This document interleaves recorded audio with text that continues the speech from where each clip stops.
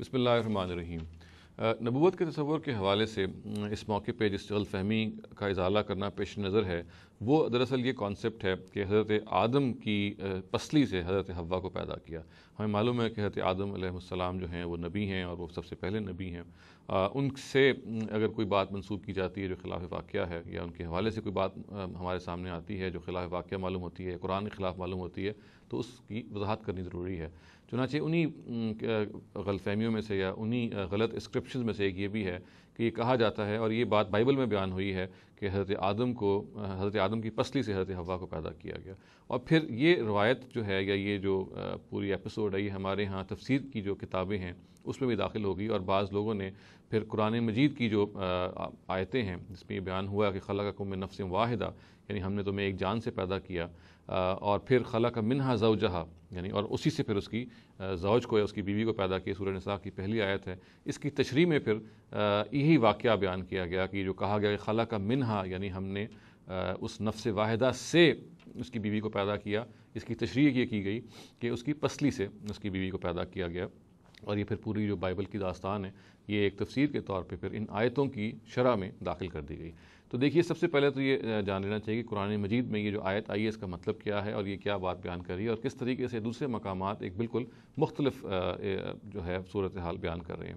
یہ جو کہا گیا کہ خلا کو من نفس واحدہ و خلا کا منہا زوجہا یعنی ہم نے تمہیں ایک جان سے پیدا کیا اور پھر اس جان سے اس کا جوڑا بنایا۔ تو یہاں جان سے مراد یا نفس سے مراد ہرگز وہ شخصیت نہیں ہے یا وہ آپ کہہ لیجیے کہ انٹیٹی نہیں ہے کہ اس سے کوئی چیز کو پیدا کیا گیا۔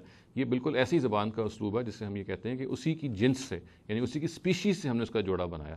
یعنی نفس کا جہاں لفظ ہے۔ اس کا یہ ہرگز مطلب نہیں ہے کہ نفس سے جو جو، وہ جو انٹیٹی بنائی گئی، وہ جو آبجیکٹ یعنی جو شے کریٹ کی گئی جو حضرت آدم ہے، ان سے یعنی ان سے حضرت ہوا کو پیدا کیا گیا۔ بلکہ اس کا صحیح مطلب یہ ہے کہ انہی کی جنس سے، انہی کی سپیشیز سے حضرت ہوا کو پیدا کیا گیا۔ اور پھر ایک اور مقام پہ یہ بات بالکل ہی واضح ہو جاتی ہے سورہ نحل میں۔ جو الفاظ آئے ہیں وہ یہ ہیں کہ، اور وہ تمام انسانیت کو کے لیے حوالے سے بالکل درست بیٹھتے ہیں کہ واللہ جعل لکم من انفسکم ازواجا کہ اللہ تعالیٰ نے انسان کو مخاطب کر کہا کہ تمہارے لیے تمہارے ہی سے تمہاری بیویاں پیدا کی ہیں۔ یعنی یہ جو دیکھیے نا جعل لکم من انفسکم۔ اگر اس کا ترجمہ وہ کیا جائے، جیسے عام طور سے کیا جاتا ہے کہ تمہاری بیویاں تم سے پیدا ہوئی ہیں اور پھر نتیجہ یہ نکلے گا کہ ہر شخص کی جو بیوی ہے وہ اسی سے پیدا ہوئی ہے۔ پھر ظاہر مفہوم پھر یہ ایک بہت بعید مفہوم ہے جو داخل کرنا پڑے گا۔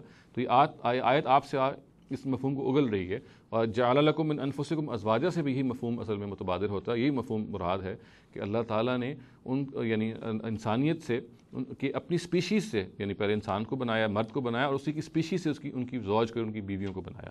گویا کہ یہ بتانا بھی پیش نظر ہے ان سارے مقامات میں کہ اگر جو ایک خاتون ہے، اس کا شرف اور مقام جو ہے، وہ کسی طرح سے مرد سے کم تر نہیں ہے۔ انسان ہونے کے ناطے وہ مرد سے، کے برابر ہے اور اس کو کسی طرح سے انفیئر قرار نہیں دیا جاتا اور یہ موقع اصل میں یہ بتانے کا ہے کہ ایک خاتون کی یا ایک ایک عورت کی جو کی جو حیثیت ہے وہ ہرگز مرد سے کم نہیں ہے۔ یہاں یہ بتانا کہ وہ عورت جو ہے وہ مرد سے پیدا ہوئی ہے، آپ اس کی تشریح کرنا کہ حضرت ہوا کی جو پیدائش ہے، وہ آدم کی پسلی سے ہوئی ہے۔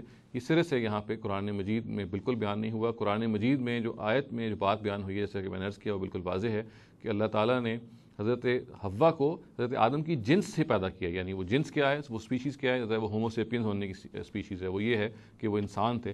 گویا کہ انسانیوں ہی میں سے اللہ تعالیٰ نے ایک کیٹیگری جو ہے وہ فیمیلز کی کا انتخاب کیا اور اسی اسی اسی سپیشیز سے اللہ تعالیٰ نے حضرت آدم کا جوڑا بنایا۔